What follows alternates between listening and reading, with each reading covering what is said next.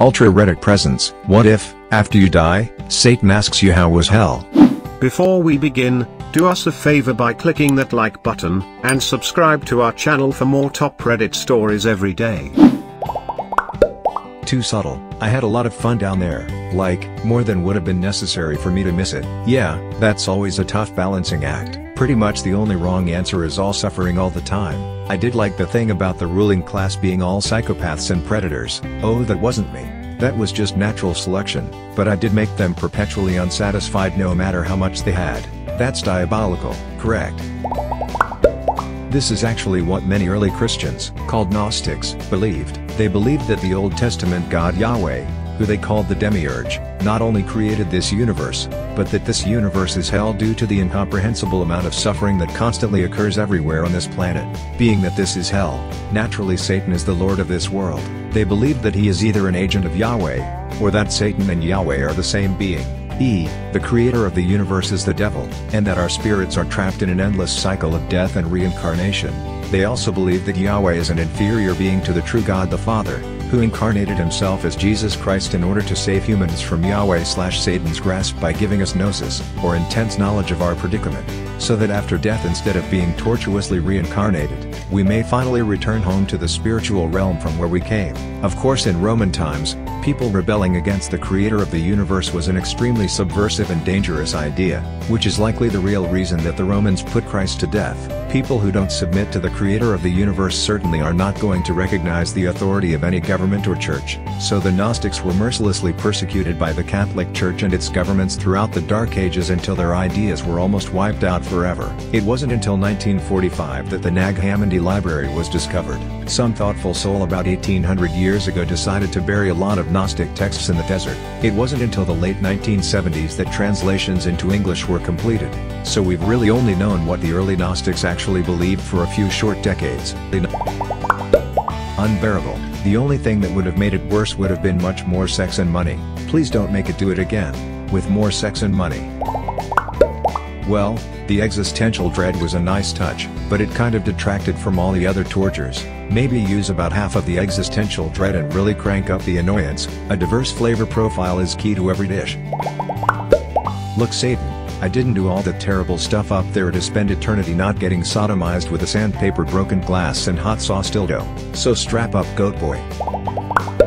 I mean that surely is a positive right? Because no matter how good or crappy your life was that wasn't life or heaven but was hell which means the worst of the worst. Therefore whatever you endured, it only gets better. If it was a terrible life, well at least that's the low point and won't get worse. If it was a good life then wow that was hell heaven must be great then. How much fucking time did you put into making it that miserable? They said there were two fathers, one above, one below. They lied. There was only ever the devil, and when you look up from the bottom, it was just his reflection, laughing back down at you. What the fuck did you just fucking say about me, you little bitch? I'll have you know I graduated top of my class in the Navy SEALs, and I've been involved in numerous secret raids on Al Qaeda, and I have over 300 confirmed kills. I am trained in guerrilla warfare and I'm the top sniper in the entire US Armed Forces. You are nothing to me but just another target. I will wipe you the fuck out with precision the likes of which has never been seen before on this earth. Mark my fucking words. You think you can get away with saying that shit to me over the internet? Think again. Fucker. As we speak I am contacting my secret network of spies across the USA and your IP is being traced right now so you better prepare for the storm, maggot. The storm that wipes out the pathetic little thing you call your life. You're fucking dead, kid. I can be anywhere, anytime, and I can kill you in over 700 ways, and that's just with my bare hands. Not only am I extensively trained in unarmed combat, but I have access to the entire arsenal of the United States Marine Corps and I will use it to its full extent to wipe your miserable ass off the face of the continent, you little shit. If only you could have known what unholy retribution your little clever comment was about to bring down upon you, maybe you would have held your fucking tongue. But you couldn't, you didn't, and now you're paying the price, you goddamn idiot. I will shit fury all over you and you will drown in it. You're fucking dead, kiddo. Pretty we pretty good. Honestly I fucked, danced, traveled, played, loved, partied, smoked, snorted, injected, and lived a fucking pretty awesome life up until this point. It got dark but those times made me a better, more empathetic, reflective person. Hell was amazing. Hail Satan motherfucker.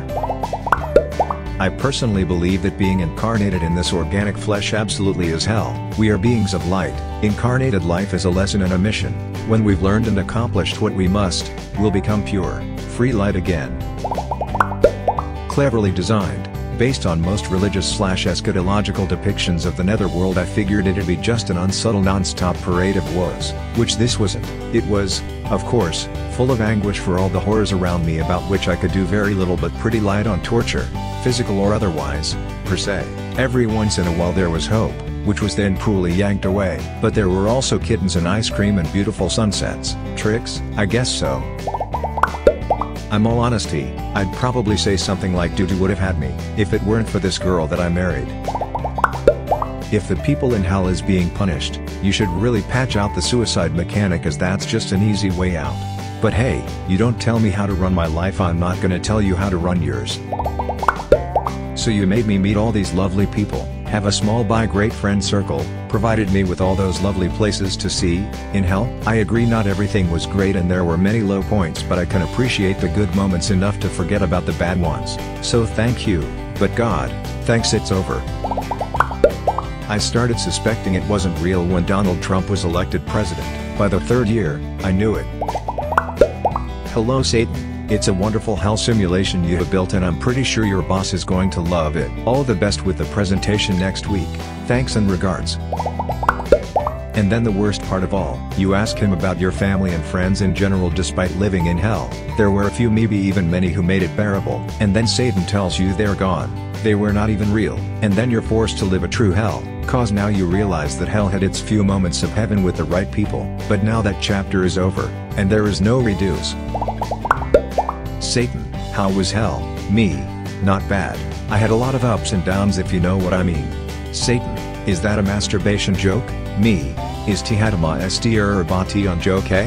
Yes, yes it was. I know you saw me beating my meat like it owed me money. Now show me to my room burrito. I immediately drop to my knees and open my mouth wide saying anywhere without you is hell to me then I begin to slurp his hellcock with fury, gagging on it and feeling it throb in my mouth. You know the rest.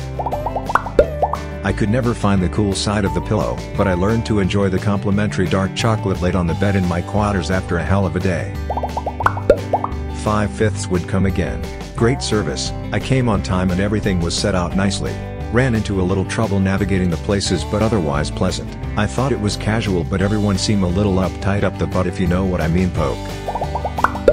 I might cry, knowing that everything that just happened wasn't supposed to be a happy thing. Even though terrible things happen in life, I know that there are good things that make it worth it. I also don't know what I have done to be in hell either. That was a really creative troll level. Other Super Earth Maker 2 creators could learn a lot from you.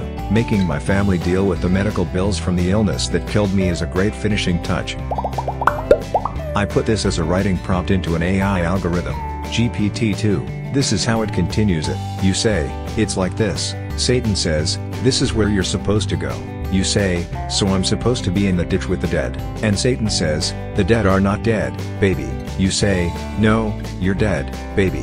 If you were alive, you'd say, no, I'm not dead. Satan says, you're not alive, so you don't go back. It's a hell, where there's only one thing.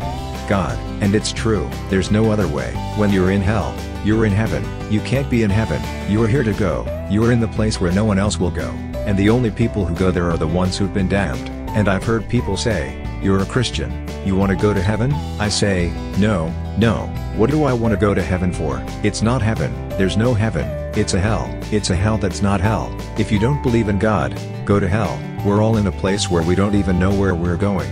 We're just going there, and I don't know why we're doing this. There's so many people who look at the world and think, oh, God loves this, God loves that. And they think, oh, well, they're bad. It's not good, it's bad. God doesn't love them. God doesn't love us. He can't do anything. He can't do it. He's not good. Well, they're bad, but there are so many good. There are so many things that are good. And that's all there is. God loves us. But what does that mean? There's no way we want to let us go. So what you'll say, you know, there's always the next time God wants us to come back. We all know next time God wants you to go. There's always the next time God wants you to come back. And that's just wrong. We can believe that. I know that. But I don't know what it's like to believe that.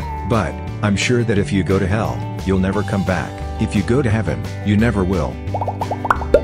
Dude, it fucking sucked. I tried twice to get away from it, but cocaine and alcohol are pretty nice. You got any of that here? Hopefully, at that point, Satan will show me to my room where a 55 gallon drum of London gin and a small mountain of coke are waiting for me.